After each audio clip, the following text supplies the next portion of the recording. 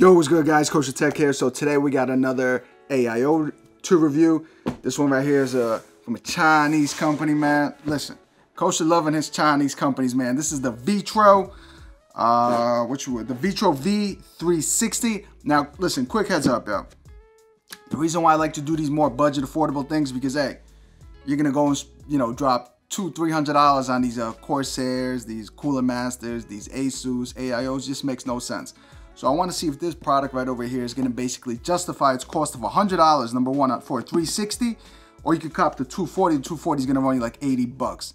Now, straight off the bat, this looks very similar to the ID Cooling Zoom Flow, the 360, which I'll review. I'll have it in the description below as well. But anyways, let's run through the presentation. I'm feeling it's for $100. I'm feeling the presentation already. So we got the um, the RGB the RGB 5 volt 3 pin header. So make sure for all you cats out there, make sure your mobo has the 5 volt 3 pin RGB header. If you got the Gigabytes, the Asus, the MSI, what else we got? Gigabyte, Asus, MSI. Uh, always, man, I always be slipping on some other. Anyways, you know what I'm talking about, man. All these mobos can't come to my mind right now.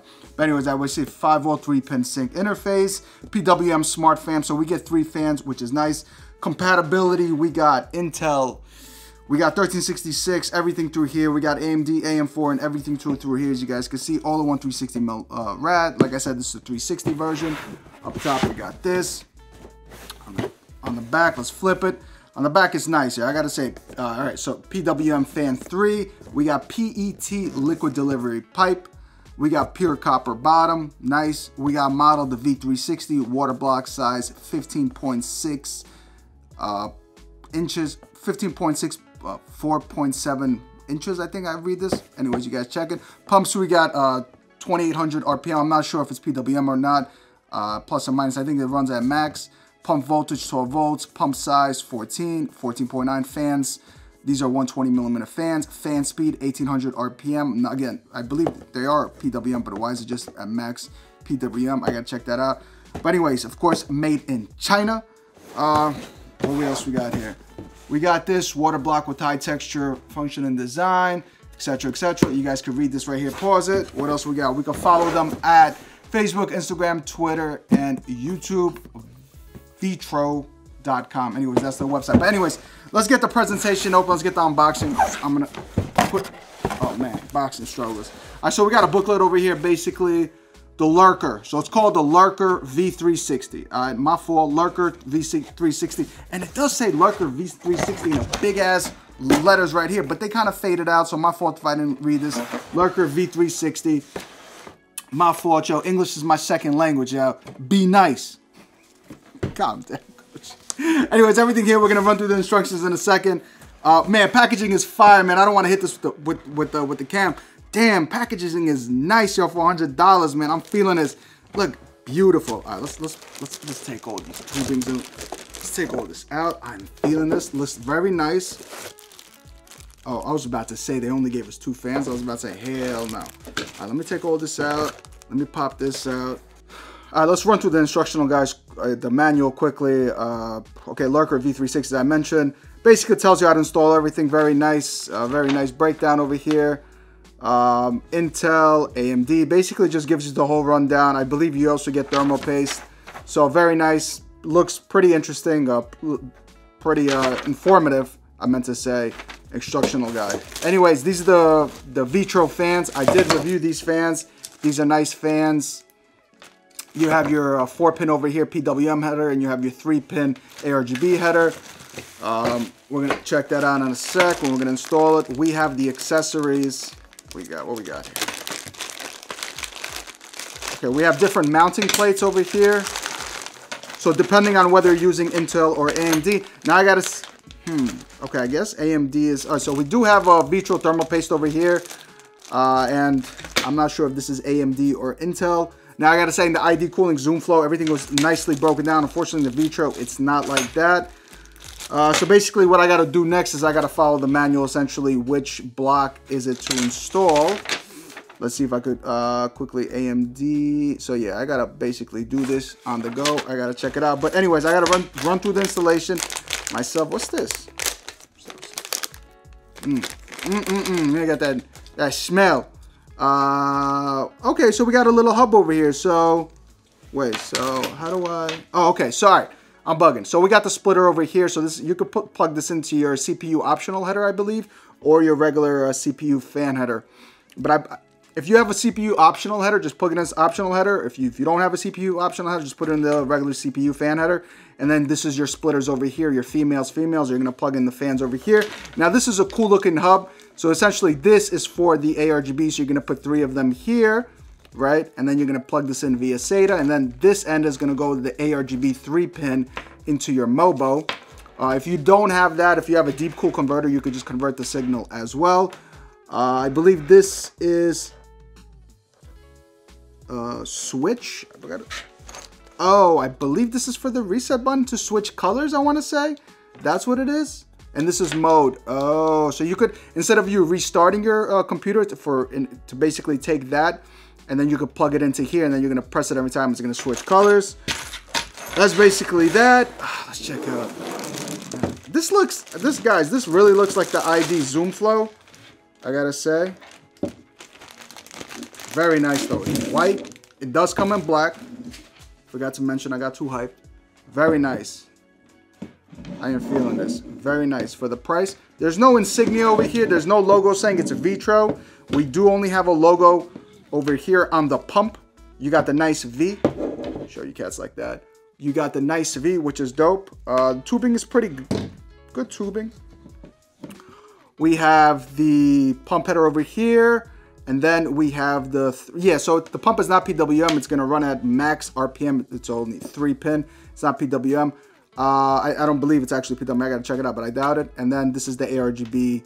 Uh, this this ARGB. Oh, okay. So this is why they gave you the fourth one. So you see the fourth one over here. So you're to plug it into, so you're to plug it into here essentially. That's why they gave you all four. So you're to plug it into here and then you're to essentially, you know, have your all your RGB, ARGB effects and then you're gonna be you could plug this in via you could get another splitter and just plug this in or you could just plug it in into your uh, mobo as well but that's basically it let's pop this bad boy on i am curious and you just want to peel this make sure you just peel it right so you just peel it and then you put in the thermal paste you could use the thermal paste which comes with the uh, cooler uh, where is it somewhere here this thermal paste over here which comes with the cooler you could use your own in the testing i am going to use the Vetroo thermal paste, which they provided. This one over here. But anyways, uh, let me install everything. Let me see how the installation is going to go. But I am feeling this for 100 bucks. We get a nice 360 mil rad. That looks pretty dope. What does that say? Warranty voided if removed. Okay, so you get a little warranty voided if removed. Stick over there. But anyways, let's get to it. So guys, I'm in the middle of basically installing the uh, the AIO. Now I gotta be a hunter with you guys. This is probably, this is definitely the, I want to say the like the, the the most like difficult instructional guide ever basically it's terrible. Basically put it this way it's terrible. That's the instructional guide we're going to go over in the middle. I'm going to help you cats out. So anyways so if you are using an intel motherboard right if you're using an intel processor you're going to have to use this backplate. Now remember this backplate is only for intel. If you're using amd disregard it it's you don't need it. Um, this these standoffs and the bracket is again only for intel. All right, now inside this bracket, you also, at least for me, they had screws. They had little small screws which actually install, right? Right over here, you see these screws, these four screws?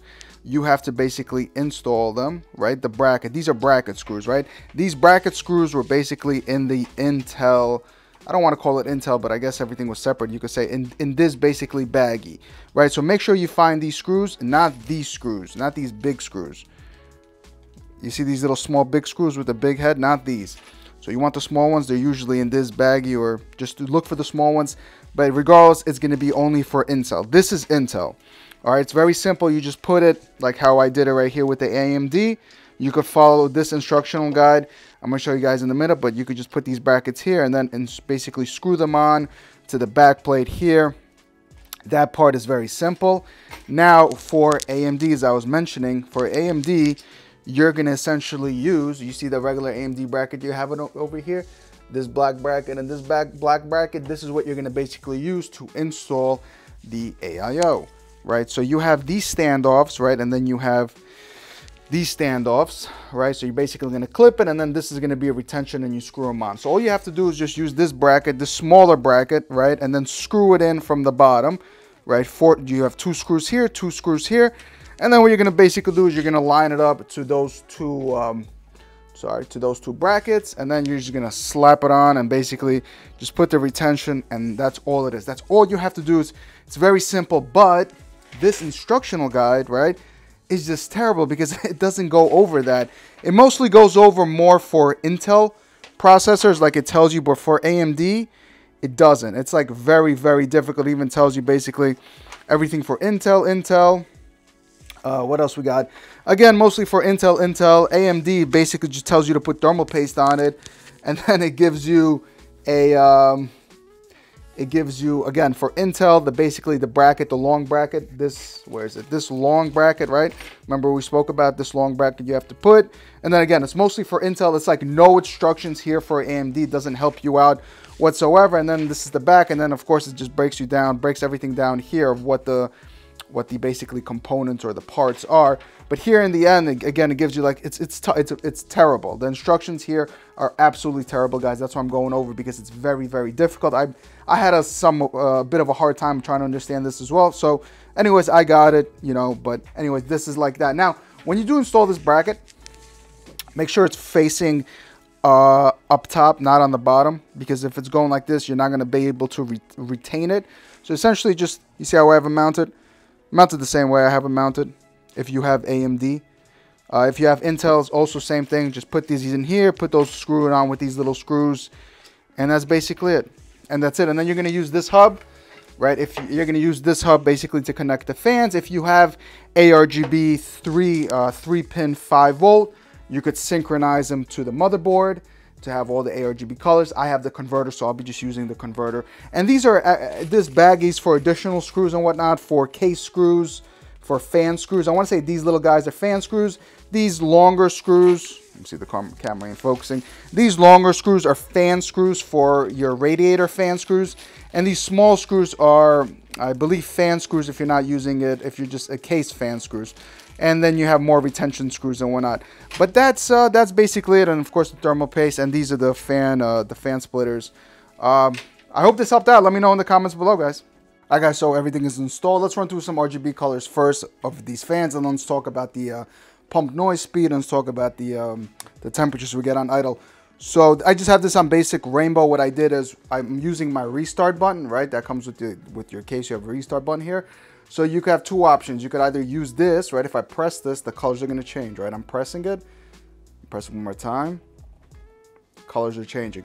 Or you could use the ARGB functionality via the MOBO since I don't have a three pin ARGB header.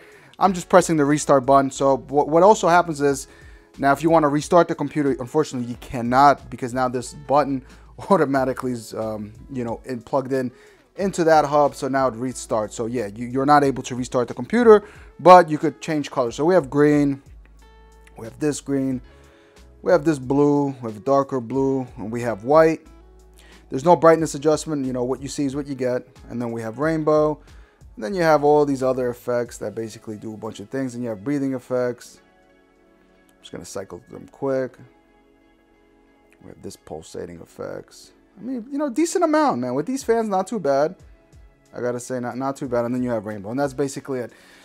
Now, what I want to basically, well, let's address actually what we got going on here. So this is the Ryzen 7 2700X. It's overclocked to 4.4 4, 4.0 4 gigs. oh my god, I'm losing my mind here in my mouth. 4 gigs. Uh, the temperature is fluctuating like 30 and just jumps up out of nowhere. It's like 30 Celsius. So on idle, we got like 30 seconds. Also, I want to mention something. When installing this, um, installing the, the, the pump or the AIO itself, for at least for AMD, the problems what I had was the metal brackets that clamp on, they kept on slipping off. So be very careful on that. That's kind of a effed up design. This happened to me. This probably also might have happened to you guys that when you were trying to install and you were tightening in the retention, it kept on like popping off. So I don't know. Let me know if you guys experienced the same thing because I was it was a very difficult process to usually when it just clamps on it's fine you do the retention and that's it but I had this issue let me know if you guys had the same issue I'm not too sure if it was just my unit or it's a common issue, common problem. That V, I gotta say, is absolutely lit. It's fi it's is and the switches colors. You see, that's cool. The V switches colors when I do that. That's awesome. That V is hot. I'm loving it. Now let's do a. Now let's just do a sound test with the panel on and off with the pump. In my personal opinion, I think the pump is loud, bro. Like you just hear like it's loud. And son, I better not hear comments telling kosher, you have a you have your AIO installed this way, dude, with the tubes, man. That's why it's making so much noise, bro. Yeah, I don't want to hear that. I know I'm gonna hear it just because I mentioned it. I, I know you savages. I know how you work.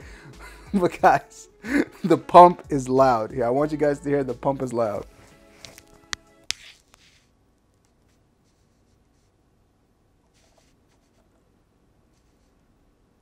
Like you just hear the the mechanical sound of it. It's loud. The fans are all low.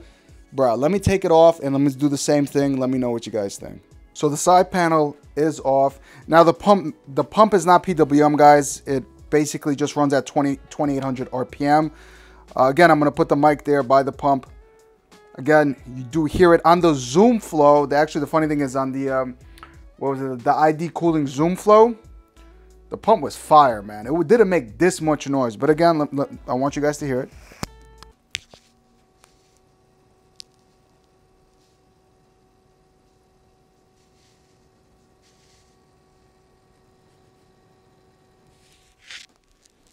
Honestly, it's like you just hear that mechanical, like the motor, you just constantly hear it. I mean, it's not a big deal when the side pan side panel is closed. You really can't hear it with the fans turned up. But you guys are gonna ask. I'm letting you guys know that you do hear it. You know. All right, let's check out the uh, let's check out these fans now. Let's go, guys. Almost forgot. Check this out. So you see the wire, right? You see the pump wire, the the pump uh, power wire, and uh, basically the wires here, right by the pump. Now, this is kind of effed up because usually in normal sense it'll be on the right hand side and it'll just go right through right through here to the opening to that hole, right? But you see how you have to just keep this in mind. The wiring is going to be annoying because it's coming from the left. I don't like that. I don't know why it's coming from the left. Like now the wire is visible. Usually eh, when it comes from the right, you could just hide it in there. It's not going to be as visible. Just want to, minor gripe I have, like you see how I had to hide it? You know, I'm not feeling that. So keep that in mind. Um, if this is something that you, you know, no go for you automatically, I wanted you guys to know. Usually the majority of um, AIOs that have the you know the wires all coming from the right instead of it coming from the left. I just want to uh, share that with you cats. And this RGB, the, um, the Asiahorse RGB heat sinks looking nice. Let's go. All right, so I got the fans running now. I have them basically at a thousand RPM. Uh, they are kind of strange. Every time you're gonna basically hear them speed up, they kind of make they kind of speed. I don't know. They they make this weird sound. These fans. Um, I'm not too sure. Like when they speed up, it's like they're going, but they're maybe they're like slowing down. Like I don't know. It, it's weird again, if you guys are having the same issue, of course, as always, let me know. So this is at 1,000 RPM. Let's hear it.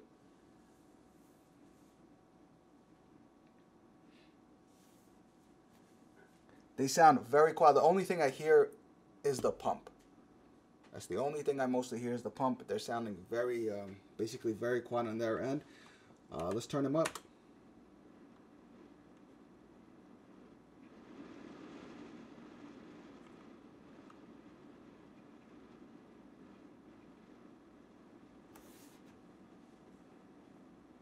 Now this is like at 13. You see like they're slowing, speeding up and then slowing down.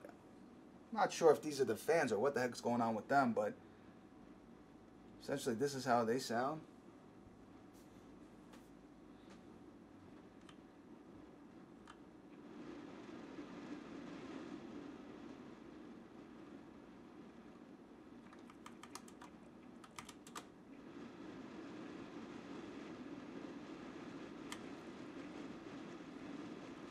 This is on max.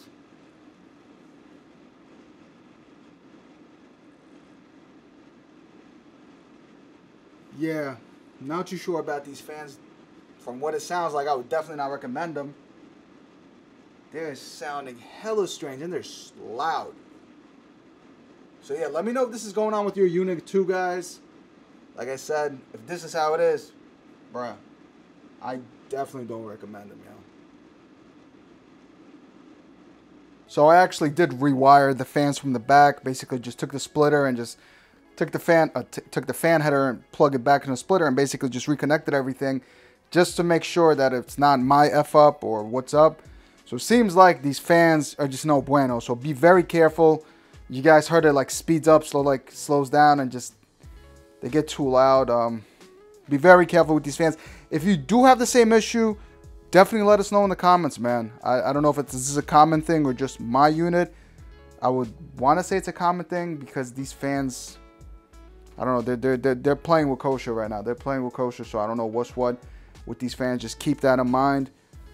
All right, so I have everything up and running. I have AIDA 64 basically running here. We got here for an hour and seven minutes. It's doing a hell of a job, man. 51 Celsius for an hour. 4 gigs, 27 Ryzen 7 2700X. What I now want to do is I want to just have Valley looping in, looping in the background, heat up the GPU a bit, get some more heat in this uh, in this case, and basically see how high the, the CPU temps are going to go. But for now, it's doing hella well, man. It's doing really, really well. Let's turn them up. So I do have Valley running right now. So I just basically have the fans here at 50%. Like I said, I want to generate as much heat as possible. So we got here, we got 57 degrees, 57, 56 degrees Celsius. Again, 4 gigs, nothing has changed. So listen, that's not bad. What, what, what was it like around, when it went up like 5 degrees, 4 degrees? All right, so now it's at 57. So that's where it's basically ranging. Uh, yeah, I mean, it's doing a hell of a job cooling it. I mean, at the end of the day, it's doing a good job. But like I said, these fans are a little acting up. They're a little strange. So let me know if you guys have the same issue with the fans. Um, overall, man, overall pretty decent AIO, I gotta say. You know, if you're looking for something on a budget side, I would I would definitely recommend this. Just that wiring, I just I just don't like that how they did that like that. But overall, that V, the the RGB on it, dope, man.